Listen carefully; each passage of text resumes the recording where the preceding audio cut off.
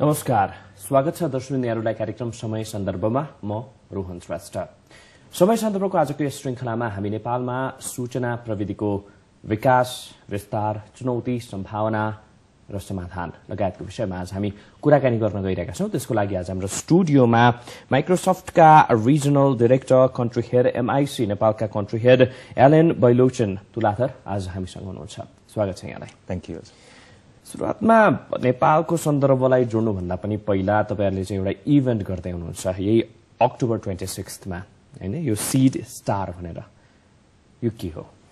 Basically हामी लुकेका हिराहरू जोसँग उद्यमशीलता छ जोसँग केही गरौँ देशमा पनि आफ्नो क्षमताको देखाउँ भन्ने त्यो एस्पिरेसन्स एम्बिसन्सहरू भएका युवाहरूलाई खोज्दैछौँ। र हामीले यो कम्पिटिसनबाट नयाँ उद्यमशील आइडियाजहरू जुक्तिहरू खोजेर उनीहरूको उनीहरूले त्यो प्रडक्ट नै बनाउनुपर्छ अहिले बिजनेस नै गरिसकेको भन्दा पनि आइडिया भएको व्यक्तिहरूलाई हामी यो कम्पिटिसनमा ल्याउँदैछौँ। उनीहरूको आइडियाजहरूबाट हामीले अहिले छब्बिस तारिक चाहिँ टप एट छानिसकेको छौँ। एटको पिचेसहरू उनीहरूको आइडियाको सुनवाई हुन्छ। ज्युरी मेम्बर्सहरू इन्टरनेसनल ज्युरी छ। अनि त्यो ज्युरी मेम्बर्सहरूले टप वानलाई सेलेक्ट गरेर त्यो टप बेस्ट नेपालको आइडिया थाइल्यान्डमा गएर ट्रेनिङ लिन्छ। र त्यसपछि स्विजरल्यान्डमा गएर उसले अन्तर्राष्ट्रिय कम्पिटिसनमा यो कम्पिटिसन फेरि कस्तो हो भने हामी सिलिकन भ्यालीसँग कम्पिट गर्दैछौँ जापान कोरियासँग कम्पिट गर्दै छैनौँ। अरू इमर्जिङ कन्ट्रिजहरूसँग डेभलपिङ कन्ट्रिजहरूसँग कम्पिट गरेर। बेस्ट त्यहाँबाट आएको स्टार्टअप बेस्ट अन्टरप्रेन्योर बेस्ट उद्यमीलाई हामी about more than one million डलरको इन्भेस्टमेन्ट अवार्ड्सहरू दिँदैछौँ। भन्नाले उनीहरूलाई चाहिँ कुनै एउटा बिजनेस सुरु गर्नको लागि उनीहरूको आइडियालाई चाहिँ त्यो इम्प्लिमेन्टेसनको लागि चाहिँ युजमा आउने भयो त्यो पैसा होइन? तपाईँहरूले भन्नुभयो अब आठवटा टिम चाहिँ सिलेक्ट भइसक्यो भनेर होइन? आठजना सिलेक्ट भइसक्यो। जना कति? इन्डिभिजुअलमा छ अथवा चाहिँ ग्रुपमा कस्तो छ? उनीहरूको नर्मली हामी के भन्छौँ भने यसमा अप्लाई गर्नु गर्न पाउनेहरू has to be co owners उनीहरू चाहिँ त्यो बिजनेसको ओनर्स नै हुनुपर्छ।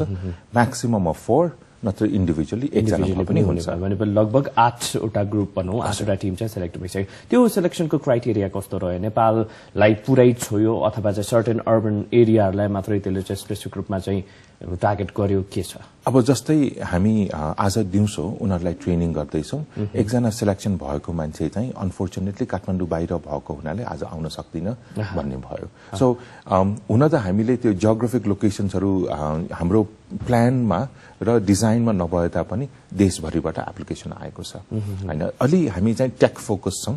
प्रविधिबाट हामीले कसरी अझ आज त प्रविधि बिना कुनै पनि बिजनेस कुनै पनि व्यवसाय सम्भवै। सम्भवै छैन, होइन। वेदर त्यो कम्युनिकेसनलाई होस् होस् वेदर द्याट प्रमोसनलाई होस् या त्यो मात्रै पनि होइन हाम्रो सानो इन्डिभिजुअल लोकल लेभलको चाहिँ फार्मरहरूलाई नै हेरौँ कृषिलाई नै हेर्दाखेरि पनि टेक्नोलोजी इज भेरी इम्पोर्टेन्ट भन्ने किसिमको यी कुराहरूलाई हामीले ब्याकड्रपमा राख्दाखेरि चाहिँ नेपालमा पछिल्लो समयमा हेर्दाखेरि सूचना प्रविधिको अब माइक्रोसफ्ट आफै पनि एउटा चाहिँ जाइन्ट हो अपरेटिङ सिस्टममा कस्तोरी कसरी एनालिसिस गर्नुहुन्छ? कस्तो छ? हामी कहाँ छौँ? अब यस्तो हेर्दै कम्पेयर भने गर्दै जाउँ नेपालमा आज अ पासपोर्ट टोटली अनलाइन छ। होइन आज जति पनि हामी सुविधाहरू सरकारबाट लिँदैछौँ एकदमै धेरै ई गभर्नेन्स र जति पनि हाम्रो इन्टरफेस विथ द गभर्मेन्ट छ झन् झन् टेक्नोलोजीबाट टेक्नोलोजीबाट प्रयोग हुँदै जाँदैछ। होइन जसले गर्दाखेरि भोलि गएर यति ठूलो रूपमा यो टेक्नोलोजी चलाउने टेक्नोलोजीलाई मिलाउने व्यक्तिहरूको आवश्यकता पर्छ। तपाईँ वेदर मिडियामा जाउँ वेदर हामी हेल्थ केयरमा जाउँ वेदर हस्पिटालिटी टुरिज्म इन्डस्ट्रीमा जाउँ र गभर्मेन्टको त मैले कुरा गरिहालेँ।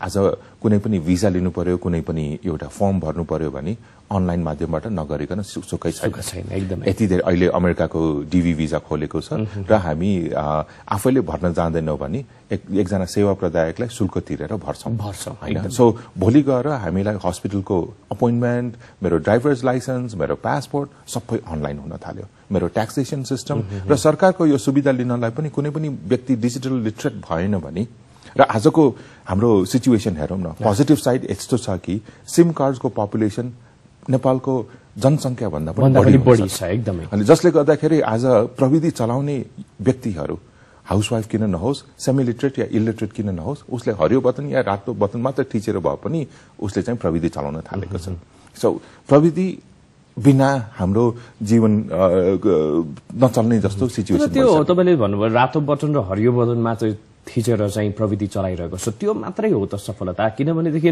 यी कुराहरू भन्ने कुरा चाहिँ गएर चाहिँ अब ब्याङ्किङ सिस्टमका कुराहरू तपाईँले अघि उठाइहाल्नुभयो होइन। मोबाइल ब्याङ्किङका कुराहरू रहेका छन् अरू पनि थुप्रै कुराहरू यस्ता रहेका छन्। अब इलेक्ट्रिक इलेक्ट्रिसिटीको बिल पे गर्नेदेखि लिएर दुनियाँ सबै आइसकेका छन्। भन्दाखेरि यो लिट्रेसीले चाहिँ कतिको चाहिँ एफेक्ट गरिरहेको छ? हामी माइक्रोसफ्ट इनोभेसन सेन्टरभित्र हामीले डिजिटल लिट्रेसीलाई बढाउनलाई दुईवटा प्रोग्राम गरिरहेको छौँ। एउटा प्रोग्राम सुटकेसभरि हाम्रो ल्यापटप्सहरू छन् जुन हामी यो सर्फेस ट्याब्लेट ल्यापटप्सहरू एक घन्टा चार्ज गऱ्यो भने दस घन्टा चल्ने पावर एकदमै एकदमै लाइट वेट पाँच सय ग्रामभन्दा कम छ। र यो जिल्ला जिल्ला पठाएर प्रत्येक दिन प्रत्येक हप्ता एक हप्ता लामो दिनको सात आठ घन्टाको तालिम हामी सञ्चालन गरिरहेको छौँ निशुल्क रूपमा। गरिराख्नु भएको छ। यो चाहिँ अदर लिट्रेसी यो चाहिँ कि यो एमआइसी को अन्डर अन्डरबाट हो यो? माइक्रोसफ्ट इनोभेसन सेन्टरको चाहिँ अन्डरबाट। के के गर्दैछ माइक्रोसफ्ट इनोभेसन अनि अर्को एउटा यस्तै हामीले यो प्रविधिको अडप्सन बढाउनलाई हामीले ग्रामीण क्षेत्रको विद्यालयहरूलाई धेरै जसो कम्युनिटी लेभल र गभर्मेन्ट लेभलको सरकारी विद्यालयहरूमा हामी कम्प्युटर ल्याब्सहरू डोनेट गर्दैछौँ। अहिलेसम्म एटी थ्री एटी फोर पुग्यो र हाम्रो लक्ष्य अर्को पाँच वर्षमा एक हजार पुर्याउने भन्ने ठूलो लक्ष्य छ। प्रत्येक स्कुलमा हामी बीसवटा कम्प्युटर दुईवटा सर्भर दुईवटा युपिएस र आवश्यक पर्यो भने सोलर पावर सहित हामी डोनेट गर्छौँ। अहिलेसम्म चाहिँ कतिवटामा भएको छ? एट्टी थ्री 83 र प्रत्येक क्वार्टर प्रत्येक त्रैमासिकमा हामी पच्चिसवटा नयाँ स्कुललाई डोनेट गर्दैछौँ। यो अर्को महिना म नोभेम्बरको बीचमा बजाङ र डोटीमा इन्सपेक्सनको लागि इन्स इन्सुलेसन भइसकेको छ। इन्सपेक्सनको लागि म जाँदैछु। होइन? सो हामी रुकुममा गयौँ। सो जति दुर्गम जान सक्छौँ र धेरै जसो तर मुख्य हामी के हेर्छौँ भने बिजुली चाहिँ चाहिन्छ। होइन? त्यो सोलरले कतिको चाहिँ सोलरबाट पनि गरिराख्नु भएको छ तर- तपाईँहरूले नै पनि त्यो चाहिँ डोनेट गरिराख्नु भएको छ इन्स्टलेसनहरू गरिराख्नु भएको छ सोलरहरू पनि। हजुर। एउटा कुरा नि अब यसरी हामीहरूले चाहिँ अब नेपालमा बाहिरबाट फन्डहरू आउँछन् होइन? डेभलपमेन्टको लागि भनेर गर्छन् स्कुलहरू खोलिदिन्छन् लाइब्रेरीहरू बनाइदिन्छन् स्वास्थ्य चौकीहरू बनाइदिन्छन्। अब तपाईँहरूले पनि त्यही अनुसारको सोसियल रेस्पोन्सिबिलिटी अन्तर्गतले चाहिँ तपाईँहरूले पनि गरिरहनु भएको छ ल्यापटपहरू डोनेट गरिरहनु भएको छ भनेर भयो तर त्यसको चाहिँ कतिको चाहिँ इफेक्टिभ भएको छ त भन्ने कुरा पनि एउटा क्वेसन मार्क लागिरहेको छ होइन? त्यो चाहिँ एनालिसिस गर्नु पर्दाखेरि नि तपाईँहरूले अब एटी थ्रीवटामा चाहिँ गरिसक्नुभयो भनेर भन्नुभयो। कसरी हेर्नुहुन्छ कहाँ छौँ के भइरहेको छ? उनीहरूले जानेका छन् कि छैनन्। जुन तपाईँहरूको एउटा गोल राखेर सेट गोल सेट गरेर चाहिँ जानुभएको छ। ती कुराहरू अचिभ भएका छन् कि छैन बाई एन्ड लार्ज हामी चाहिँ सुरुदेखि मैले रुरल टेलिसेन्टर मुभमेन्टमा पनि काम गरेँ। त्यति बेला high level commission for IT भनेर सरकारको निकायमा पनि एज अ एक्सटर्नल एडभाइजरको रूपमा काम गरेँ र प्रविधिलाई अम, यो डिजिटल डिभाइड भन्छन् नि भएको र नभएको बीचको खाडललाई अहिले चाहिँ पहिला धनले त्यो डिभाइड गर्थ्यो। त्यसभन्दा धेरै अघि ज्ञानले डिभाइड गर्थ्यो। ब्राह्मण र अरू कास्टहरूको लागि त्यही नलेजले डिभाइड गर्यो। अहिले आएर सायद प्रविधिले यो डिभाइड गर्न थालेको छ। भएको र नभएको बीचको खाडल चाहिँ आई थिङ्क त्यो डिजिटल डिभाइड प्रविधिको एक्सेस हुने धेरै सक्सेसफुल हुने। प्रविधिको एक्सेस नहुने नट सो सक्सेसफुल हुने। होइन यो बीचको खाडल हामीले पूरा गर्नलाई आई थिङ्क धेरै एक्टिभिटिजहरू गर्यौँ। डिजिटल लिट्रेसी एउटा हो। सबैको क्यापेसिटी हामीले डेभलप गर्नुपर्छ। एक्सेस टु टेक्नोलोजी त्यो पहुँच हुनुपर्छ भन्ने हो। र सधैँ अर्को चाहिँ के छ भने यो केयर एन्ड म्यानेजमेन्ट कसरी यो पहुँ यो प्रविधिको हेरचाह गर्ने होइन? अनि प्रविधि सधैँ एकदमै एक्सपेन्सिभ छ। एकदमै। क्यास अर्को सी आवश्यक छ। र यो सँगसँगै हाम्रो अर्को चाहिँ यो प्रविधि कनेक्टिभिटी बिना चल्दै चल्छ चल्दै चल्दैन र त्यसपछि फेरि यो चाहिँ टेक्नोलोजिकल ट्रान्सफर्मेसन भन्ने कुरा पनि डे बाई डे भइरहेको छ। कतिको चाहिँ उसले चाहिँ एडप्ट गर्न सकेको छ त त्यो कुरालाई भन्ने कुरा भन्नुभएको छ। ती कुरालाई चाहिँ कसरी हेरिरहनु अब यो भनेको इट्स अ कन्टिन्युस एकजनाले गरेर सक्ने होइन। हो। होइन त्यो प्रत्येक व्यक्तिले मैले पनि जोड्न चाहेको यही हो। तपाईँहरूले मात्रै गरेर त्यो चाहिँ सक्सेस हुन्छ अथवा चाहिँ पोलिसीगत रूपमा चाहिँ गभर्मेन्टल सपोर्टहरू पनि चाहिन्छ। एउटा इन्डिभिजुअलको कतिको चाहिँ उसको भूमिका रहन्छ ती कुराहरूलाई पनि मध्यनजर चाहिँ गर्नुपर्ने हुन्छ। अब गभर्मेन्टको पोलिसी अब एजुकेसन सेक्टरमा हेर्ने हो भने झन्डै अडतिस चालिस हजार स्कुल्सहरू छन्। होइन वान थर्ड नेपालको बजेट शिक्षा क्षेत्रमा खर्च हुन्छ र मेजोरिटी त्यो बजेट शिक्षा क्षेत्रको बजेटभित्र तलब र भत्तामै खर्च हुन्छ। होइन? सो आफ्नो प्रब्लम सरकारको आफ्नो गभर्नेन्सको इस्युजहरू छन्।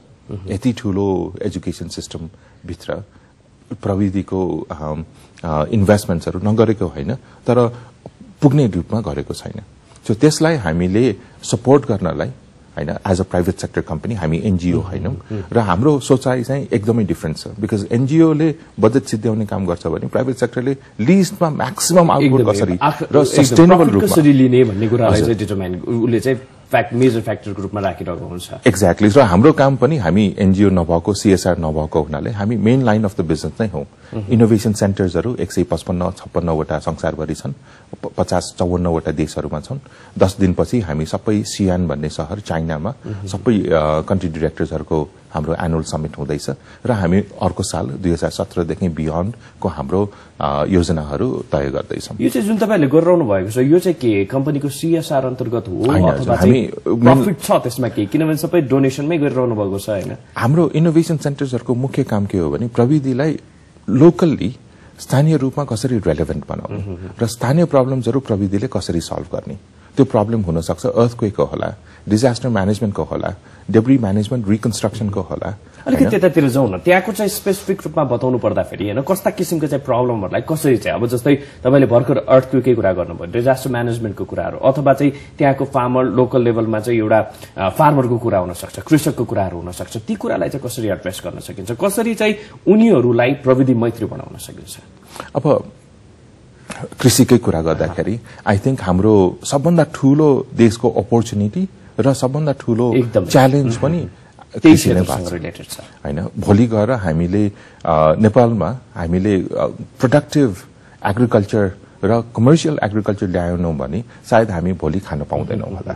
होइन अरूले यसलाई रिप्लेस गर्नै सक्दैन। होइन यो यस्तो कमोडिटी हो र इन्भाइरोमेन्ट पनि सँगै जोडेर आउँछ।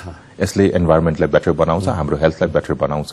अब एग्रिकल्चरमा मार्केट इन्फर्मेसनदेखि टेक्नोलोजीको इन्फर्मेसनदेखि र त्यो सोइलको टेस्टिङसम्म अन द फिल्ड नै मोबाइल फोनले सोइलको टेस्टिङ र त्यो बिकज प्रत्येक पाँच सय मिटर दुई सय मिटर ठाउँ ठाउँमा सोइलको लेभल फरक हुन सक्छ। त्यो विषादी भएको सोइल हो कि यो सबै प्रविधिले यति सजिलोसँग गर्न सकिन्छ।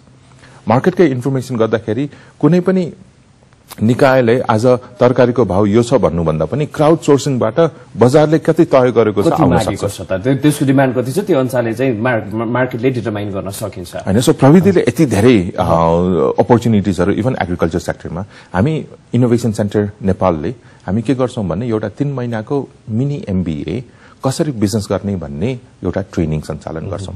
निशुल्क छ फुल टाइम छ। र यो ट्रेनिङमा अहिलेसम्म कृषि क्षेत्रमा दुईवटा स्टार्टअप्सहरूलाई हामीले ट्रेन गरिसकेको छौँ। कृषि घर भन्ने एउटा स्टार्टअप छ जसले डिपार्टमेन्ट अफ एग्रिकल्चरसँग मिलेर उनीहरूले स्मल होल्ड फार्मर्सहरूको मोबाइल फोन्समा कृषि घर इन्स्टल गरेर त्यो काइन्ड अफ पुस इन्फर्मेसन उनीहरूकोमा आइरहन्छ। त्यो भइसक्यो भइसकेको छ। र पन्ध्र हजार जति कृषकहरूले प्रत्येक दिन उनीहरूको दिनचर्याकै रूपमा यो एपलाई चलाइरहेको छ। सो सबै हामी गर्न सक्दैनौँ यस्तो pockets of entrepreneurs pockets of sustainable सोल्युसन्सहरू आउन थाल्यो भने देन आई थिङ्क नेपालमा बिकज आफ्टर अल यो सरकारले त एउटा इन्भाइरोमेन्ट एउटा मात्र म त सधैँ मैले अलिकति यो हिजो तपाईँसँग कुरा गर्नुभन्दा अगाडि मैले थोरै रिसर्च पनि गर्ने मौका पाएको थिएँ तपाईँहरूले चाहिँ संविधान सभा भवनमा पनि केही प्रोजेक्टहरू लानु भएको थियो तर त्यति बेलामा चाहिँ सभामुख त्यति बेलाका सभामुख सुभाष नेमाङले चाहिँ होइन यो अब अहिले अरू कुराले नै टाउको दुखिरहेको बेलामा यतातिर टाउको नदुखाउँ भन्ने किसिमको चाहिँ रेस्पोन्स आयो भन्ने कुरा पनि मैले पढ्न पाएको थिएँ। के थियो त्यो त्यो त्यो कुराहरू के थियो र कतिसम्मको त्यसले पनि डिटरमाइन गर्छ त्यसले पनि चाहिँ बेसमा राख्छ कि हामी कतातिर छौँ त सूचना प्रविधिपट्टि प- पट्टि भन्ने कुराहरू आउँछ। त्यसलाई कसरी हेर्ने? त्यति बेलाको माहौल कस्तो थियो भने नयाँ नेपाल हामी सबैमा जोस थियो। अब त भविष्य एकदमै डिफ्रेन्ट हुन्छ। भन्ने थियो र कमन म्यानले पनि यसको र यो सबै हामीले हेर्दाखेरि कमन म्यानलाई पावर दिने एकदम त्यो लेभल प्लेइङ फिल गर्ने एउटा अपर्च्युनिटी के हो भने टेक्नोलोजीमा छ। अनि त्यो इन्फर्मेसन त्यो एम्पावरमेन्ट एभ्री व्यक्तिलाई टेक्नोलोजीले दिन सक्छ। हामीले to one third of the constituent assembly मेम्बर्सहरू संविधान सभाका सदस्यहरू त्यति बेला सेमी लिटरेट या इलिटरेट भन्ने हामीले अलिकति बुझ्न पायौं। र उनीहरूको मुख्य काम नै संविधान लेख्ने काम थियो। होइन उनीहरूले अरू देशको संविधानहरू बुझ्नुपर्ने पढ्नुपर्ने त्यसमा अध्ययन गर्नुपर्ने थियो। सो हामीले त्यो सबै टेक्स्ट टु स्पिच टुल्सहरूको डेभलप गर्यौँ। ताकि कुनै पनि बेलायतको साउथ अफ्रिकाको अ, भारतको चीनको संविधानहरू संविधान सभाको लाइब्रेरीमा गयो भने उनीहरूले बसमै बसेर। सुन्न सकोस्। होइन? ताकि उनीहरूले पढिरहन नसकोस् पढ्ने उनीहरूसँग क्षमता या समय नहोला। होइन? त्यो उनीहरूको समयको सब- सबभन्दा सदुपयोग गरोस् भनेर हामीले फुल टेक्नोलोजीको प्रयोग गरेको थियौँ। र त्यसको सोकेस गरेर सिस्टम नै बनाएर हामीले तल्लो लेभलदेखि एडमिनिस्ट्रेसनदेखि सबै गरेर लिएर जाँदाखेरि पोलिटिकल लिडरसिपमा पुग्दाखेरि उहाँहरूको प्रायोरिटी त्यति बेला संविधान घेराउ होइन अन्य त्यो। प्रायोरिटीमा थियो। प्रविधि म त फोन नै राम्रोसँग चलाउन सक्दिनँ। अरू प्रविधिले झन् मलाई समस्या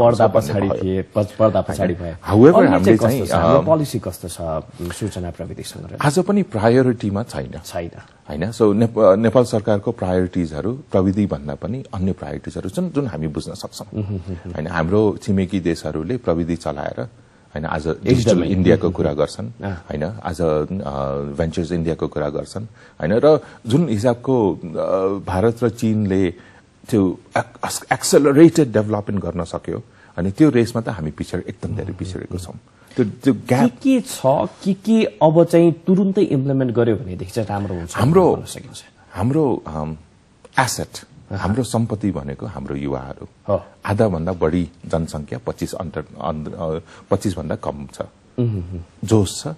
केही गरौं भन्ने जागे त्यो आँट छ र गर्न सक्ने क्षमता छ। एजुकेटेड छन्। अहिलेको युवाहरूको अंग्रेजी अर्बन युवाहरू र अहिले म धेरै गाउँमा पनि सबै अंग्रेजी माध्यमबाटै पढ्छन्। ग्लोबल युवाहरू छन्। उनीहरू संसारको कुनै पनि कुना काप्चामा गएर काम गर्ने क्षमता राख्ने युवाहरू छन्। त्यसलाई हामीले हार्नेस गरेर युटिलाइज गरेर त्यो आर्मी अफ अफ एनर्जीलाई एउटा धारमा ल्याउन सक्यो भने जुन हामीले पहिलाको पोलिटिकल पावर पनि त्यसैमा देखेको हो त्यसलाई डेभलपमेन्टमा हार्नेस सरकारले गर्न सक्यो भने र बागमती मुभमेन्ट पनि त्यही त हो नि। क्राउड सोर्सिङ न हो नि।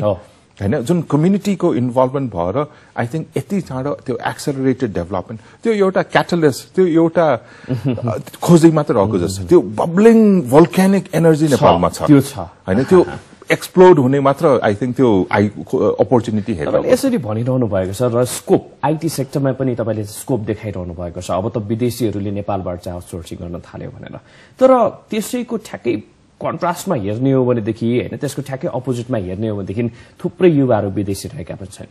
अरू फिल्डमा त छ नै आइटीका युवाहरू पनि पढेर नेपालमा केही गर्न सकिएन भनेर जाने पनि छन्। त्यसलाई कसरी हेर्ने? त्यो एनर्जी काहीँ न काहीँबाट त निस्किहाल्छ। होइन उनीहरूको होप्स उनीहरूको एसपिरेसन्स उनीहरूको फ्युचर उनीहरूको करियर्सहरू त उनीहरूले आफ्नो बाटो बनाइहाल्छ। त्यसलाई अब जस्तै एउटा साधारण सानो उदाहरण सिङ्गापुरमा कुनै पनि विश्वविद्यालयमा पढ्यो भने सिङ्गापुर सरकारले दुई वर्ष काम गर्नै पर्छ। होइन उनीहरू त्यसको फुल युटिलाइजेसन लिन्छन्। अब नेपालमा पनि हामीले नेपाल बनाउनलाई एक ताका थियो गाउँ फर्क अभियान थियो र गाउँको विकास प्रत्येक शिक्षित युवाले गर्नै पर्ने थियो। आफ्नो गाउँ आफै त्यो नयाँ आयो। नयाँ नाराको रूपमा आयो तर एउटा प्रोग्राम एउटा स्ट्रक्चर्ड रूपमा आएन। र अहिले पनि धेरै युवाहरू हामीले अर्थक्वेकमा त्यो देख्यौँ नि चाउचाउ अलि लिएर पानी अलि लिएर प्रत्येक। व्यक्तिले सहयोग गर्न प्रयास गरिरहेको थियो होइन त्यो सो त्यो हेल्प गरौँ भन्ने चाहना त छ नि। होइन त्यसलाई अलिकति प्रोग्राम्सहरूमा ल्याइदियो र सरकारले बाटो देखाइदियो र अनेस्ट रूपमा कार्यकर्ताको लागि मात्र फाइदा नहुने तर सर्वसाधारणलाई जाने। त्यो किसिमको लिडरसिपले कुनै एउटा बाटो देखाइदियो भने त्यो देखिएन भने प्रत्येक व्यक्तिलाई आफ्नो बाटो त छुनिहाल्छ। एकदमै। ऊ त यत्तिकै स्थगित रूपमा त बस्दैन। अब त्यो देशमा अपर्च्युनिटी छैन भने उसले विदेशमा खोज्छ। उसको एनर्जी अरू मेबी मिडल इस्टको स्टेडियम बनाउनलाई चलाइदिन्छ। त्यो नेपालकै स्टेडियम हुन सक्थ्यो। हामी यसरी चाहिँ देश विकासको कुराहरू गरिरहेछौँ होइन? सूचना प्रविधिलाई कसरी युज गर्न सक्छौँ त? कसरी एउटा टुल बनाउन सक्छौँ राष्ट्र निर्माणको लागि युवालाई नेपालमा रिटेन गर्नको लागि भनेर? यो सँगसँगै जोडिएर पछिल्लो समय सूचना प्रविधि अलिकति विवादित पनि बनेको छ। विवाद कहाँ गएर जोडिएको छ भन्दाखेरि भाषा विवादमा। युनिकोड मैत्री अथवा प्रविधि मैत्री बनाउने नाममा भाषाको वर्णविन्यासलाई खत्तम पार्दैछ सिद्ध्याउँदैछ भन्ने किसिमका कुराहरू पनि आइरहेका छन् र त्यो हो पनि। होइन? यसलाई कसरी हेर्ने? हामीले चाहिँ त्यो हाम्रो भाषा सुहाउँदो प्रविधि बनाउन सक्दैनौँ। म त्यसमा अलिकति सहमत छैन होइन? भाषासँग युनिकोडले के गर्यो भने धेरै अघि हामीले प्रविधिले के गर्यो भने टाइपराइटरलाई रिप्लेस गर्यो। सो छापा मुद्रण आउँदाखेरि जति पनि पहिला हातले लेखेर गरिन्थ्यो त्यसलाई सहजीकरण र आम जनतामा ज्ञान पुर्याउनलाई प्रिन्टिङ टेक्नोलोजीले हेल्प गर्यो। त्यसपछि कम्प्युटर्सहरू आयो इन्टरनेट आयो र अहिले आएर युनिकोडले गर्दाखेरि एक्ज्याक्टली हामीले पहिला जसरी हातले लेखिन्थ्यो एक्ज्याक्टली सेम वेमा लेख्न सक्छौँ। नेपाल भाषाको कुरा गरौँ। हामी स्ट्याक्ट अफ क्यारेक्टर्सहरू सात आठवटा क्यारेक्टर्सहरू राख्न चाहन्छौँ भने टेक्नोलोजीले अलाउ गर्छ। हामी धेरै जसोले पढ्न सक्दैनौँ होला। त्यसलाई हामी हलन्त राखेर या दुईवटा अक्षरसम्मङ र ग संयुक्त गर्ने ङ र घ संयुक्त गर्ने या द र व संयुक्त गर्ने होइन यिनीहरू दुईवटा अक्षर संयुक्त अक्षरहरूसम्म चलाउन थाल्यौँ।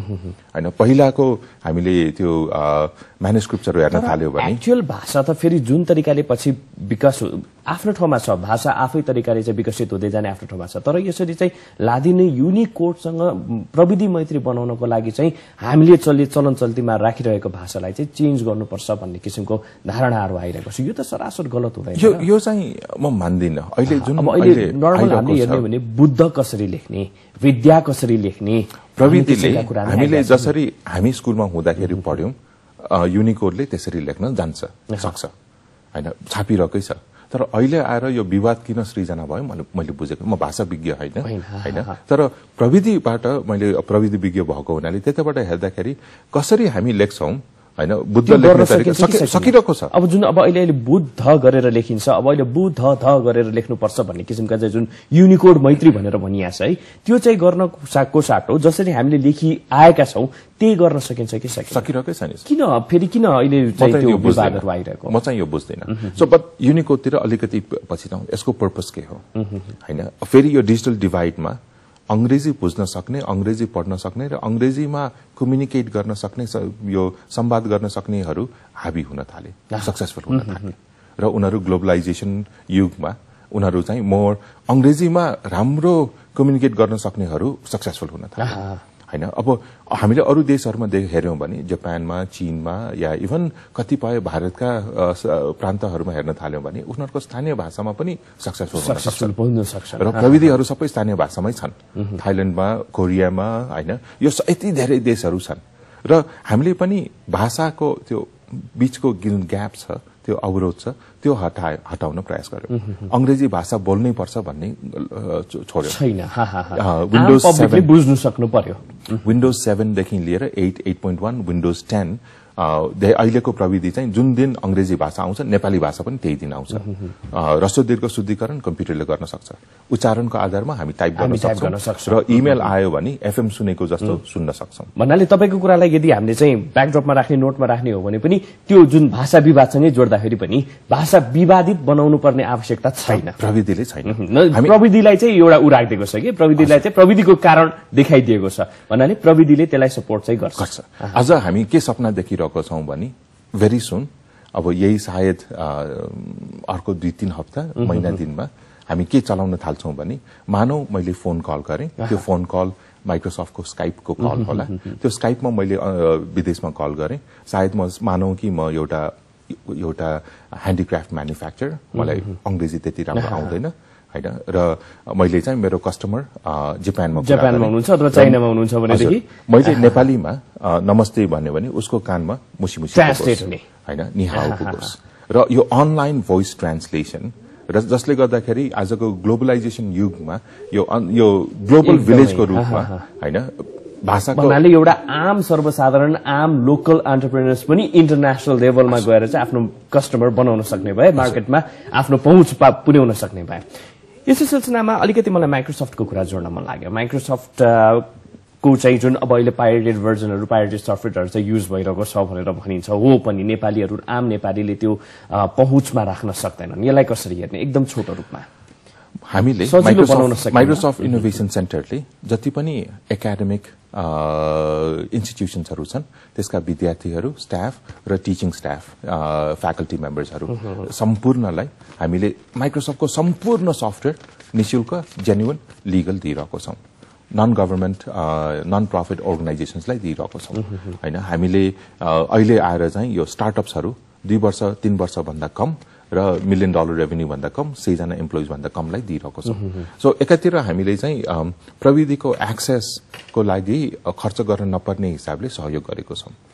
अब अर्कोतिर सफ्टवेयर अरूको बौद्धिक सम्पत्ति होइन अब चोरी गरेर चलाउनु आज म्युजिक इन्डस्ट्री सिनेमा इन्डस्ट्री होइन अरू क्रिएटिभ आर्ट्सको इन्डस्ट्री पनि त्यही समस्यामा छ। होइन जुन यो इन्टेलेक्चुअल प्रपर्टी यसमा लले चाहिँ के भन्छ? हाम्रो ल एकदम? स्ट्रङ छ। राम्रो छ। तर नेपालमा इम्प्लिमेन्टेसन। होइन सधैँ इज अ क्वेसन र सधैँ हामीले अब सरकारकै विभिन्न निकायमा हेर्ने हो भने त्यो कम्प्युटर्सहरू you could be a victim of counterfeit products भनेर हलोग्राम विन्डोजमा देख्छौँ। होइन? सो जसले गर्दाखेरि जेन्युन सफ्टवेयर चलाउने एन्टरप्राइजमा ब्याङ्किङमा सुरु चाहिँ भएको छ तर जुन लेभलमा सबैले गर्नुपर्ने हो। अनेस्टली अडप्ट गर्नुपर्ने हो। फेरि हाम्रो प्रविधि कस्तो छ भने जेन्युन र पाइरेटेडमा केही भिन्नता छैन। होइन हामीले फोटोकपी गर्यो भने त्यो अलिकति नराम्रो देख्ला तर डिजिटल कपी गर्यो भने एक्ज्याक्टली हुबहु सेम हुन्छ। होइन जसले गर्दाखेरि आज चाहिँ त्यो पाइरेटेड चलायो भने अब कुनै कुनै पाइरेटेड डिभिडिजहरू जुन हामी बजारमा पचास रुपियाँमा किन्छौँ त्यसमा थप सफ्टवेयरहरू हुन सक्छ म फेसबुकमा च्याट गर्दाखेरि मेरो च्याट सबै अरूलाई गइरहेको हुन सक्छ बिकज इन्टरनेटमा उसले ब्याकडोरबाट अरू। सस्तो बनाउन नमिल्ने हो कि अथवा चाहिँ के हुन्छ त्यो? कतिपय अन्तर्राष्ट्रिय कानूनले टेक्नोलोजी डम्पिङ गर्नलाई कुनै पनि देशलाई अलग भाव दिन राख्न पाउँदैन कुनै पनि देशमा चाहिँ एउटा स्पेसल रेट म चाहिँ सेल्समा छैन। मलाई त्यति त्यो विषयमा दक्षता छैन। तर अब कसो भने कसैको मोटरसाइकल हेर्दाखेरि त्यो पाइँदैन भनेर बुझ्नु पर्यो अब? यसलाई एउटा अरू एरियाबाट मैले मोटरसाइकल किन्न सक्दिनँ भने अरूको मोटरसाइकल मैले चलाउन पाएन पाएन। होइन। अनफोर्चुनेटली मोटरसाइकल मैले थ्री डी प्रिन्टबाट प्रिन्टरबाट प्रिन्ट गर्न सक्दिनँ। होइन। सो तर डिजिटल सफ्टवेयर्सहरू गानाहरू भिडियोजहरू होइन यो सबै किताबहरू त फोटोकपी डिजिटली गर्न सकिन्छ। सकिन्छ। इ बुक्सहरू होइन। सो यो चाहिँ एउटा प्रविधिले ल्याएको समस्या नै हो। हजुर सर। धेरै धेरै धन्यवाद हाम्रो स्टुडियोमा आइदिनु भयो यसरी चाहिँ सूचना प्रविधिसँग जोडिएका विभिन्न विषयमा चाहिँ प्रकाश पारिदिनु आफ्नो विचारहरू राखिदिनु यहाँलाई धेरै धेरै धन्यवाद। थ्याङ्क यू भेरी मच अन्तमा सिड स्टार्स हामी हिमालय टिभीमा पनि लाइभ। अक्टोबर ट्वेन्टी सिक्समा लिएर जाँदैछौँ। भ्युवर्सहरू सबैलाई चाहिँ त्यो दिन अक्टोबर ट्वेन्टी सिक्स बुधबारको दिन दिउँसो साढे तीन बजेदेखि पाँच बजेसम्म हामी हिमालय टिभीमा लाइभ छौँ। प्लिज हेरिदिनु होला र नेपालको उद्यमशीलता आइडियाजहरू कस्तो लाग्यो फिडब्याक्स पनि हाम्रो फेसबुकमा ट्विटरमा दिनुहोला। थ्याङ्क यू हजुर हस् धन्यवाद। दर्शक न्यायलाई पनि धेरै धेरै धन्यवाद। हामीलाई साथ दिनु भएकोमा पक्कै पनि हाम्रो एनएन सरले भनिहाल्नुभयो यही अक्टोबर ट्वेन्टी सिक्समा हामी पनि हिमालय टेलिभिजनबाट लाइभ गर्दैछौँ। सिट स्टार्सलाई यहाँहरू पनि फिडब्याक दिनुहोला। उहाँले भन्नुभयो जस्तै हामीलाई यो समयमा यो अवधिमा हामीलाई साथ दिनुभयो। यहाँलाई धेरै धेरै धन्यवाद। समृद्धि र शान्तिको अभियान हेर्दै रहनुहोला हिमालय टेलिभिजन। नमस्ते।